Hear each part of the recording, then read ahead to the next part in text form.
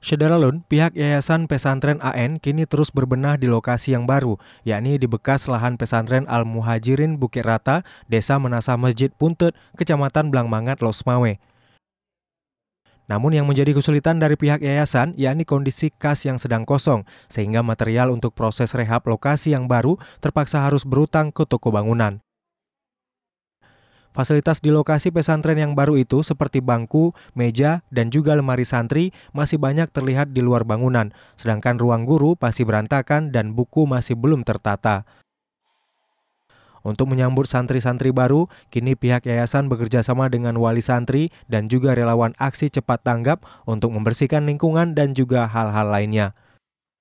Alhamdulillah sudah mencapai 80 persen berkat bantuan yang pertama dari wali santri itu sendiri juga dewan guru kita bekerja sama untuk mempersiapkan uh, karena mengingat hari Sabtu ini santri kita sudah balik kembali ke sini. Yang pertama ruang belajar, ruang tidur lagi disiapkan, uh, kamar mandi, uh, dan juga fasilitas uh, untuk makan uh, anak-anak kita.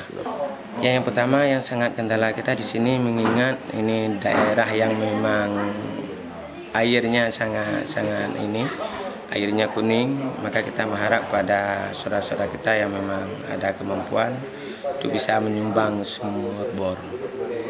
Sementara ini yang sangat kita butuhkan.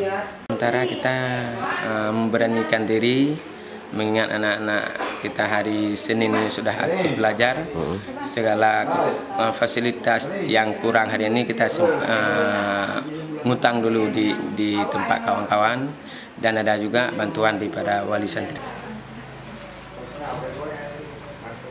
Dari Losmawe, saya Bahri, Serambi On TV.